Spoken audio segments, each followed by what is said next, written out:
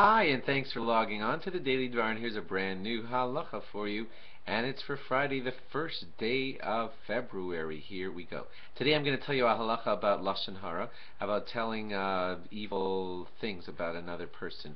It's very common for someone to say uh, so and so, oh he's so short. You know, let's say that's your comment about so and so, and then your friend accosts you and says, hey, that's lashon hara. You're not allowed to say that about him, and you might want to respond by saying, but it's true.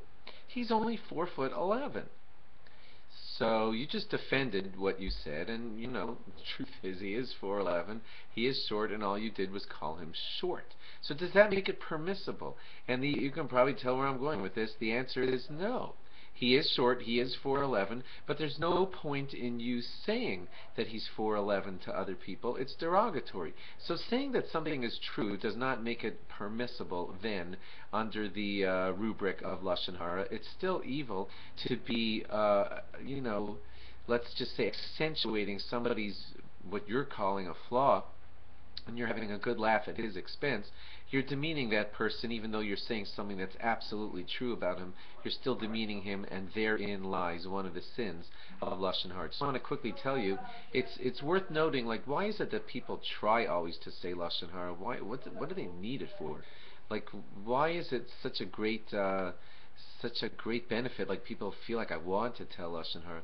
And one of the common explanations is that oftentimes people feel small. They see other people being praised or other people getting more credit than them, and the person who's noticing this feels like a little bit inferior and wants to feel on the up and up, and sometimes steps on other people's reputation and thereby ups his own reputation. That's why people are drawn to lashon hara. In other words, if you look at it this a different way, the person saying lashon hara is also is actually showing us his flaws, showing us his feelings of inferiority, because that would be the only reason why he would have joy in mocking another person is because he needs to feel higher up the rank, and somehow stepping on someone else's uh, persona helps his persona rise up the ranks. So please realize as you listen to Lashon Hara, oh, God forbid, or as you, God forbid, tell Lashon Hara, you're really just revealing a weakness in your own self every time you tell it, or even if you listen to it. That should help you be dissuaded from, God forbid, saying it or listening to it the next time. Thanks for logging on. Log on again after Shabbos for more. Bye-bye.